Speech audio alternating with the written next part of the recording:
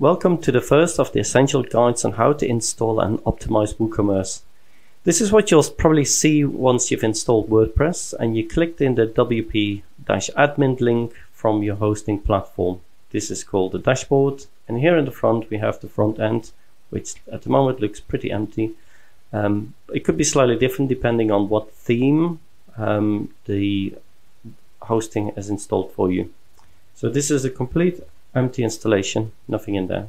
So let's start with installing WooCommerce.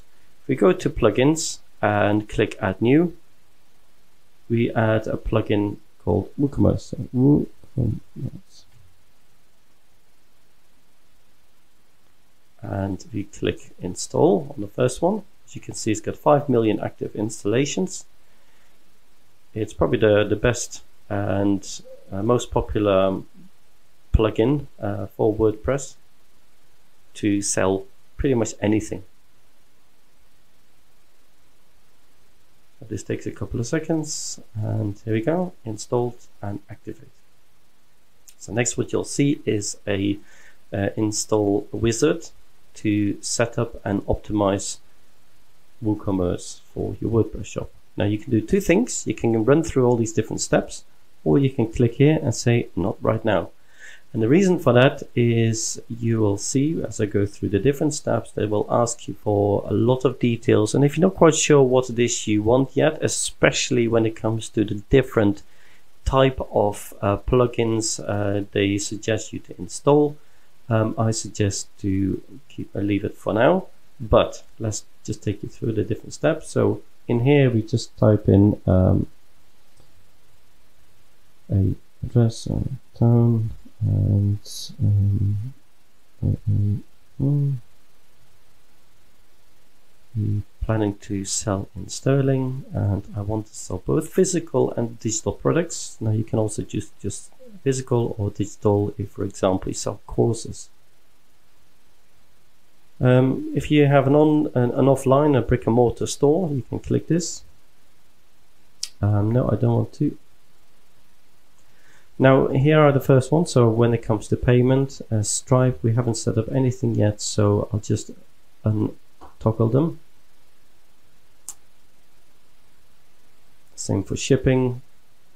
I'll decide on these at a later stage.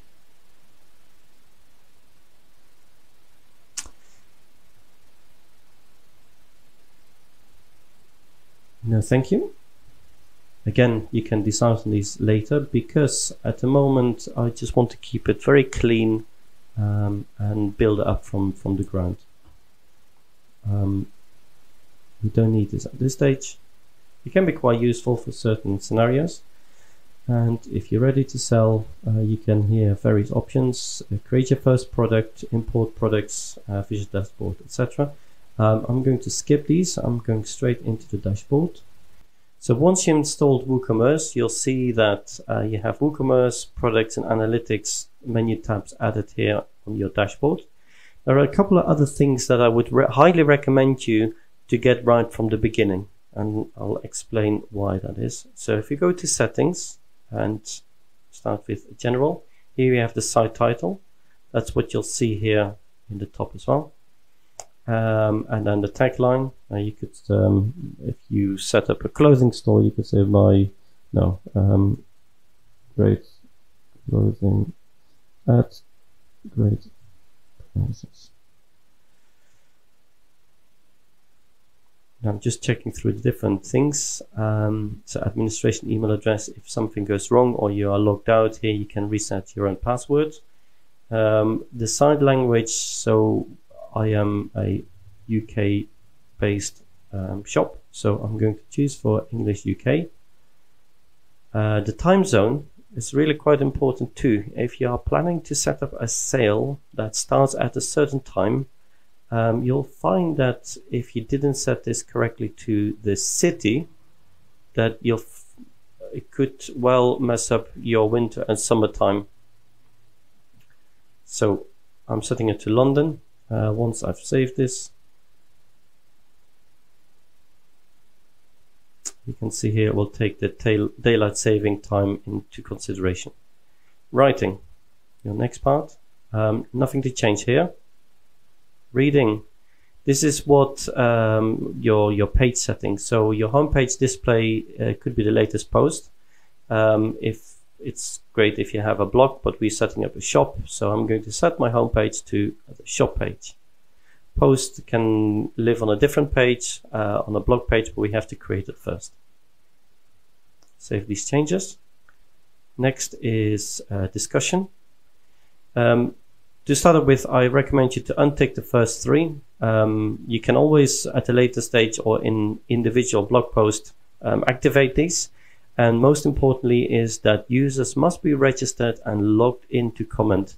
This is to prevent that your site will attract a lot of spam because if they're not registered, anybody can leave a comment. I'm choosing a blank or no uh, avatar. And here in media, you can set the different sizes, but again, I would leave them for what they are now. Permalinks. Now, these are the, the second part after your domain name. So for normal posts, um, I like to keep them really simple and clean. So it would be the domain name and the post title. Same for the products. So we have the, the store domain name and then the product name after a forward slash. You have different options, but you can check them out. But this is what I would recommend you to do. So we've done the different settings. There's one missing, the privacy. Um, I'm just going to check that I've got all the pages before I go there.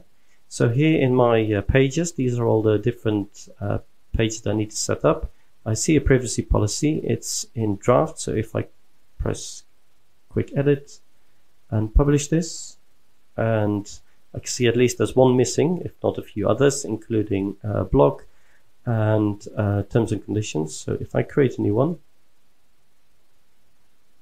and it terms,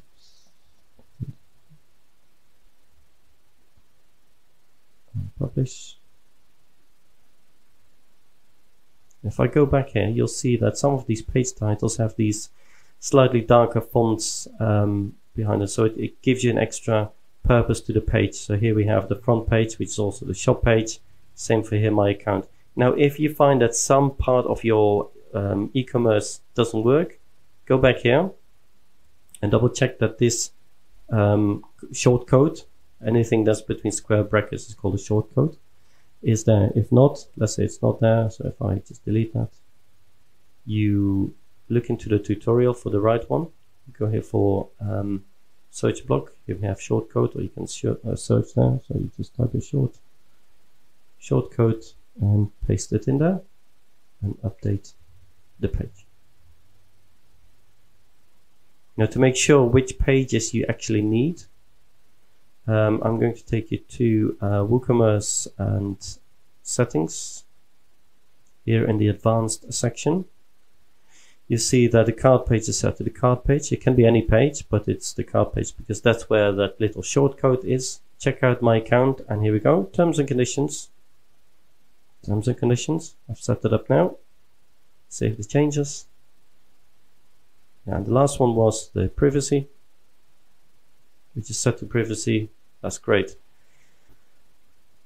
Now we've installed WooCommerce, you can see that the front already starts to look uh, slightly different. We have the shop page as the home page. Um, but now the next step in the essential WooCommerce guides is to create um, the shop, make it beautiful with a theme and add a few products and work our way through to checkout. So that's in the next part of the essential guide.